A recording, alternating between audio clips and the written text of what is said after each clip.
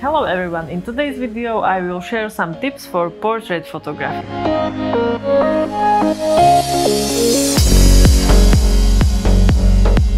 These tips are especially good for people who are shy or not so much comfortable in front of camera. These tips can be also valuable for people who are starting with portrait photography. So let's get straight to the point and let's take a look at the tip number one. Don't look straight to the camera. This is the most used tip when taking close-up portraits. I love these kind of photos when your eyes don't look straight to the camera. So when you are shy, you can turn your head and look up or down. Don't focus on the camera. Instead of that, find interesting object around you and focus on that object. When you still feel very nervous, you can hide your eyes behind your hands. You can also close your eyes, which will be more intimate in the photo and more comfortable for you.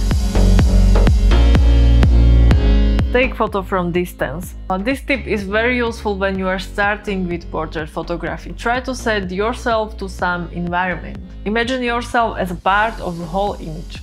From the distance there won't be seen any details of your face, so you can stay relaxed, pose and just enjoy photo shooting. Show your back. I mean this seriously.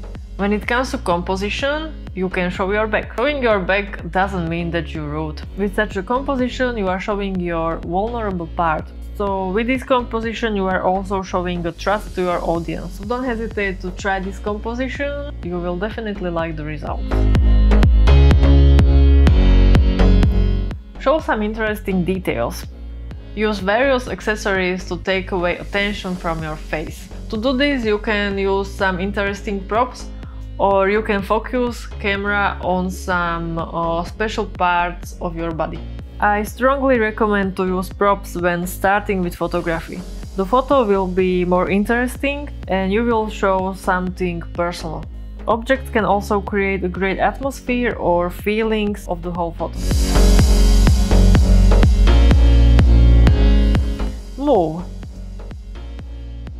Yes, move.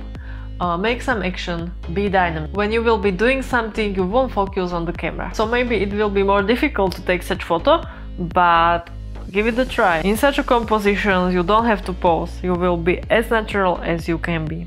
So walk, run, jump, dance or laugh. So I hope these tips will lead you to great photos. Even when you are shy or you are not so much comfortable in front of camera, you can definitely make a good portrait. So use these tips and don't forget to have fun while taking portraits. So if you like this video and these tips were somehow helpful for you, let me know down in the comments and see you in the next video.